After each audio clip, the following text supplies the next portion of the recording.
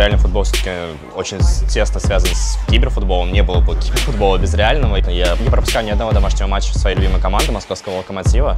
Всегда присутствую, всегда активно болею.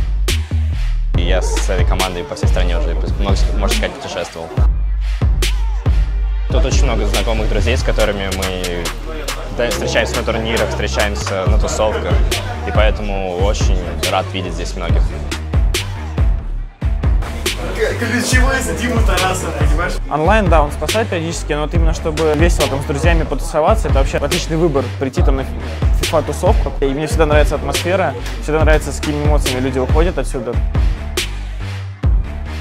Люди просто приходят пообщаться, подстричься. Тут такой, грубо говоря, такой свой клуб. Можно просто прийти, позвонить. Никит, мимо прохожу, замерз, чай, кофе, кто постарше, там что-то покрепче. Посмотреть футбол, поиграть в фифу в барбершопе.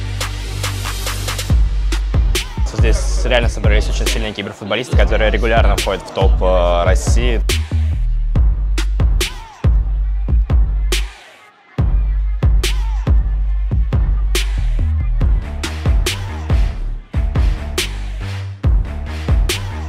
Левандовский какую передачу исполняет на Робина.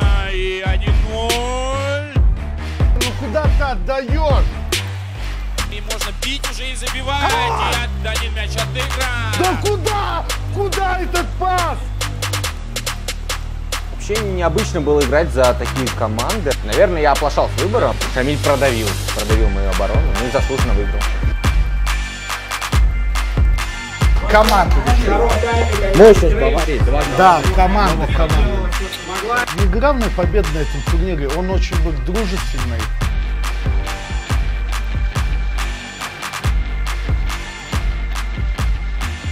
Было видно, что все вот радостные здесь, все счастливые ходят. Я думаю, такие встречи необходимы и болельщикам, и киберфутболистам, потому что они заряжают позитивным настроем. Выражаю свою благодарность барбершопу «Удар головой» за приглашение, за организацию этой крутой тусовки. И болейте за Рока, и мы будем чемпионами! Только Рока! Только, Только победа! победа!